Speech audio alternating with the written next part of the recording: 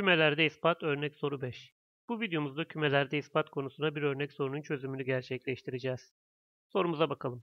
A ve B kümeleri E evrensel kümesinin birer alt kümesi olmak üzere eğer A alt kümesidir B ise A'nın kuvvet kümesi B'nin kuvvet kümesinin alt kümesidir olduğunu ispatlayınız. Burada bir notumuz var.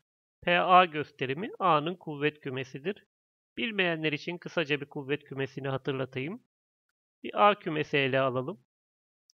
1, 2 gibi iki elemana sahip olsun. Şimdi kendimizi yormamak için az eleman veriyorum. Bunun kuvvet kümesi dediğimiz şey PA.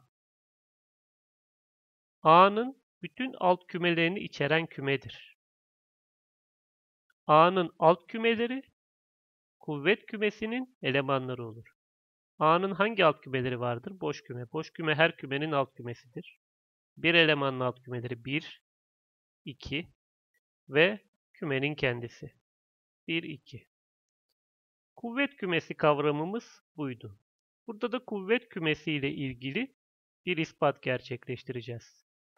Şimdi ispatlayacağımız ifadeye dikkatlice bakacak olursak neyi ispatlayacağız biz? Eğer A alt kümesidir B ise diyor.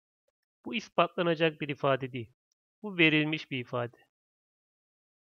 Yani A'nın B'nin alt kümesi olduğu söylenmiş. Bu biliniyor. A B'nin alt kümesi ise A'nın kuvvet kümesinin B'nin kuvvet kümesinin alt kümesi olduğunu ispatlayacağız. Bu ispatlanacak ifade. İspatlanacak ifade. Bunları niye söyledim? Başlangıcı ispatlanacak ifadeyi ele alarak gerçekleştireceğiz çünkü. Şunu bir alalım şuraya. A'nın kuvvet kümesinin B'nin kuvvet kümesinin alt kümesi olduğunu ispatlayacağız. Birçok üniversitenin hocasının sevdiği bir ispat sorusudur ki ben de bir üniversitenin sınav sorusunu aldım zaten koydum buraya. Şimdi burada bizim alt küme şeklindeki ispatlarda bunun bir elemanını alıp o elemanın bunun da elemanı olduğunu gösterdiğimizde ispatın gerçekleşeceğini bundan önceki birçok videomuzda konuşmuştuk. Burada da gidişatımız bu olacak. Şimdi birinci adım.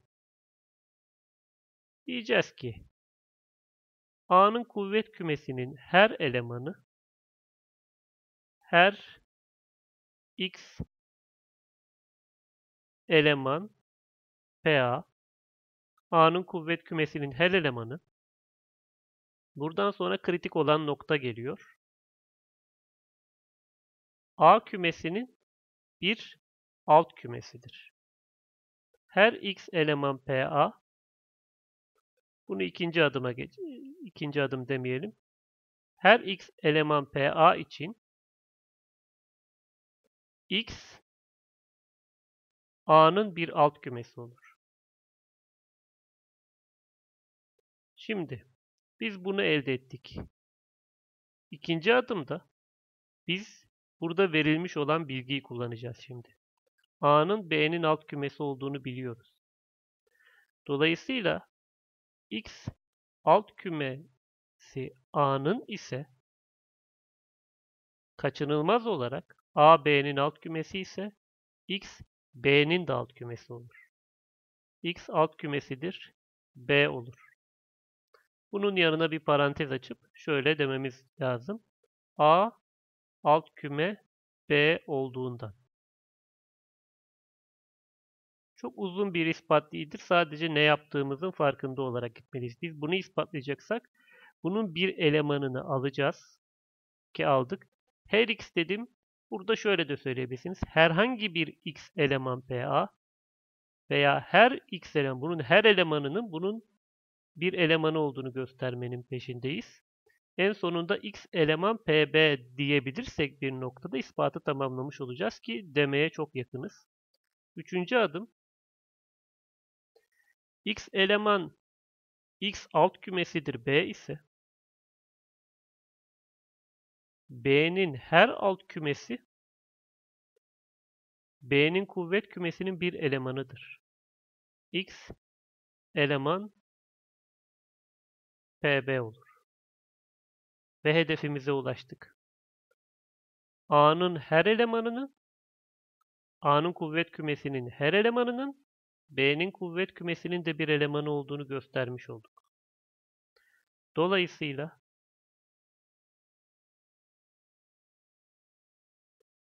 her x eleman PA aynı zamanda